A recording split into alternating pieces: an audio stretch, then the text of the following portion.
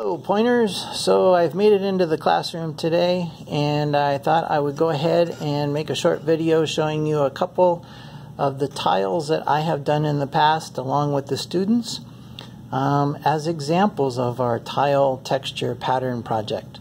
So we're going to basically make a square slab of clay and then in that slab of clay we are going to create different textures or patterns by impressing into the clay or building on top of the clay couple of these particular tiles have a stain that's been painted on them.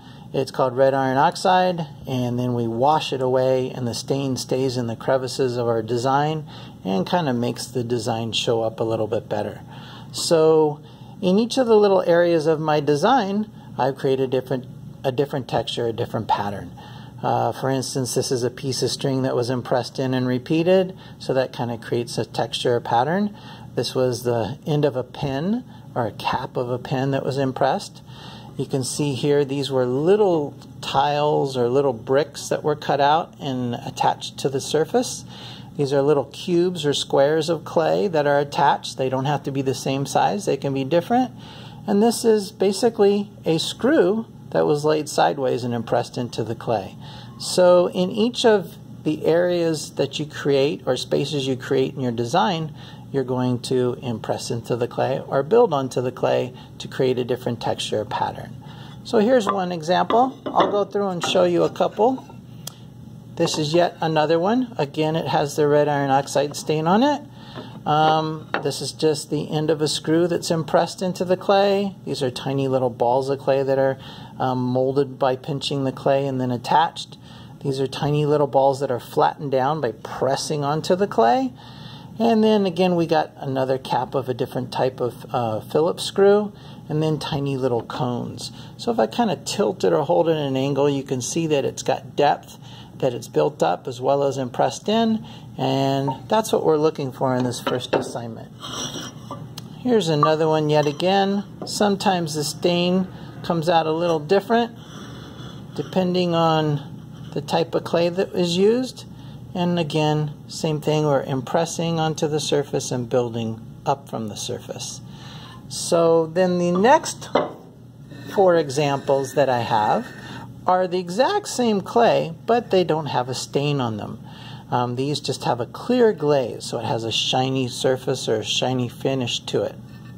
We won't be able to finish ours because we're not here in the classroom where we can fire them, but you can kind of get the impression.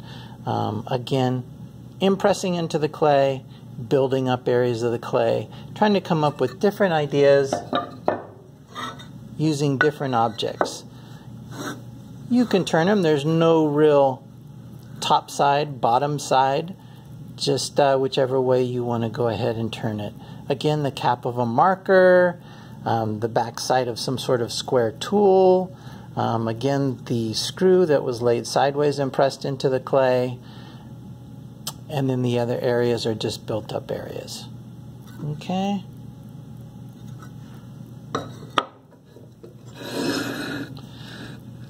couple more here I'll show you. Same type of idea. You can see I like using the screws because it picks up the threads of the screw as well as the tip or the cap of the, of the screw. Um, you could use a bolt the same way. Um, little kind of feather-like shapes of clay overlaid and overlapped so that it creates kind of um, almost like a scale um, kind of effect. Caps of a pen and then some little built up areas as well. So you can kind of see. Takes a little time to do all those things if you get intricate with it, but it gives you a really neat effect when you finish. And we'll go with one last one here. This is another one. Again, I don't know that it matters which direction you turn it. Um, but lots of tiny little balls of various sizes of clay that are then crosshatched and slipped onto the clay surface. I'll be explaining more about how to do that um, as we get into our tile. This was a little clip on a pin. It's got a little squiggly and a little round shape on the end. Um, and then just more objects like uh, the cap of a bolt or the cap of a marker. I think this was a pencil lead holder. Um, so just coming up with different objects that you can impress into the clay different ideas of shapes you can build onto the clay. So what I might suggest is, as you're at home and you are looking at these and hopefully getting ideas, be looking around your house for different objects that you could impress into clay that you think would make a nice shape or a nice pattern, um, a nice impression.